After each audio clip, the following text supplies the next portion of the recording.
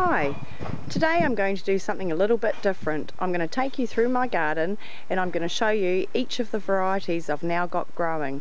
After nearly four months of establishing this garden bed from nothing, today I've added up that I have 32 edible varieties in here and even I'm shocked. So here we go, I'll show you all the different bits and pieces.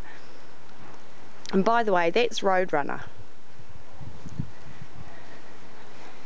Down here we've got the mini red cherry tomatoes and a um, variety of Roma tomato, I'm not sure, it was a seedling from a girlfriend. Down and under here we have the mint.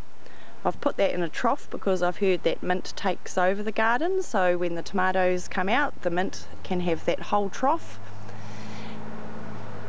Here we have another variety of Roma tomato. These seedlings were bought from a local charity shop, so I don't know what variety that is either. Tucked in behind, here I have planted a row of silver beet and spinach, and they're going quite nicely. And if we come around to the front, of this first box. You'll see here to the left at the front there is another variety of Roma tomato. That little plant must have 20 or more tomatoes on it which is absolutely amazing and I'm not quite sure what colour they're going to be. Another seedling from my girlfriend. She thought it might be a yellow Roma. There to the right you will see two established beds of the Chandler strawberry. They're producing okay but my birds um, keep getting them. The whirly birds don't seem to be doing their job there but we also have my very first baby strawberry baby strawberry plant that is. They are multiplying now. At the back on the right here we have broccoli a row of baby spinach tucked in to the side. At the back there once again there's the silver beet just tucked in. Going over to this half there's the rosemary bush coming back out. I'll show you this whole half of the bed. The whole front is um, George's dwarf butter beans and they are cropping now as you will see here. Beautiful crops of butter beans all ready to harvest. All in under here I lift the plant up. There we go. And I just tucked a couple of um, lettuce seedlings that my neighbour gave me just in the front and underplanted them in the um, butter beans. They're doing nicely. We come over to the back once again there's the rosemary. Over here we have got um, cabbage and cauliflower and underplanted all through here. I've popped um, dwarf pea seeds in and they're just starting to pop their heads up. Moving along to the other side. Now in here just to the left yesterday I planted um, uh, five wildflower wildfire chili plants. I'm going to do a bit of a chili crop. This is my first crop rotation here. I had um, a whole line of lettuces but they've started to come out. We've just got one of the original lettuces there that's going to come out. So I think this is going to be my herb row. So I've tra just transplanted this basil. And here we've got a chive.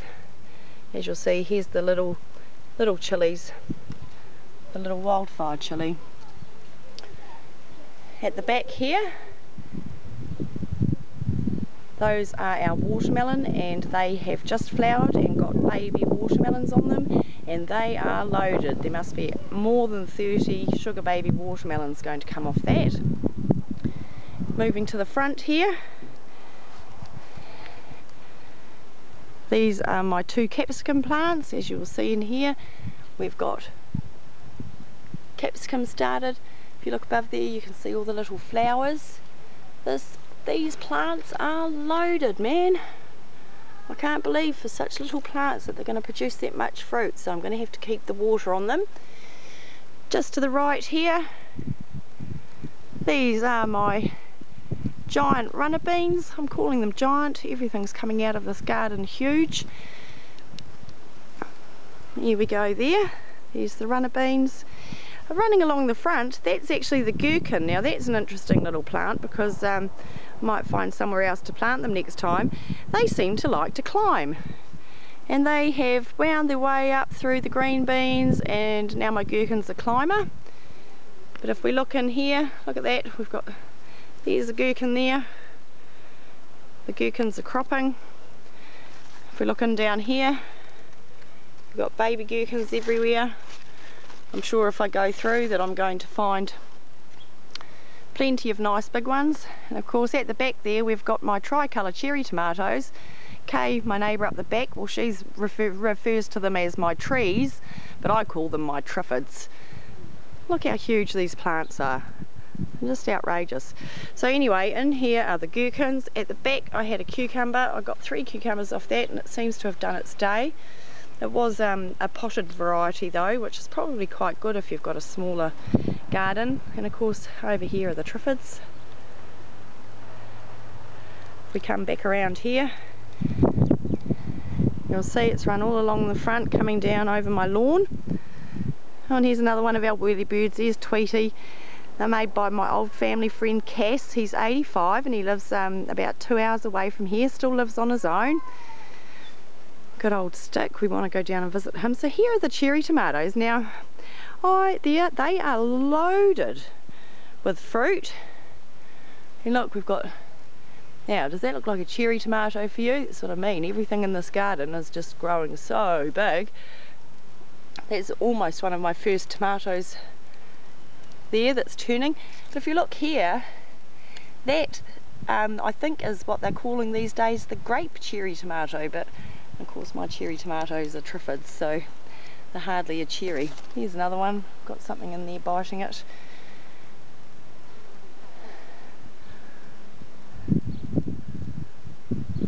So we can hardly, these plants, if they were standing straight, must be over 10 feet tall.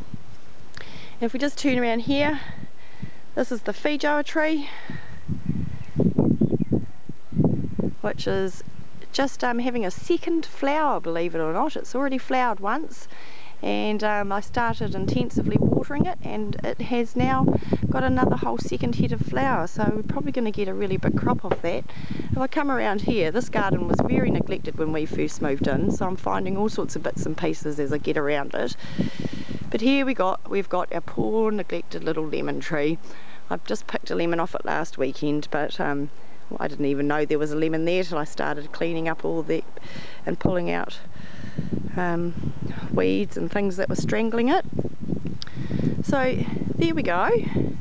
I think that's just about it. So we've got the tricolour cherries in there and the gherkins coming down the middle track there and spilling out over the lawn. Green runner beans, down under those runner beans there are two dwarf green beans that Olivia raised at school. We've got the two capsicum plants there. Um, one lettuce left from the first crop, that's ready to come out. I've got one corn, I don't know, that was another one that my girlfriend gave me and I stuck it in it. I don't know what that's doing. Um, there's the new chili bed that's gone in. It's also got the chives and the basil. The sugar baby watermelon, run, watermelon running across the back we move to the second bed here, in front there are the dwarf butter beans that you can see. Carrying on to the left, you've got your two rows of strawberries left again and you've got a row of a couple of varieties of the Roma tomatoes. We're going a bit closer over the back, cabbage, cauliflower and broccoli and a rosemary plant and this is all underplanted with dwarf peas which are just starting to sprout. So they should fill in where the dwarf beans leave off coming across. These are two rows of the strawberries and at the back we have broccoli and spinach and silver beet. And there we have it everybody. The glam garden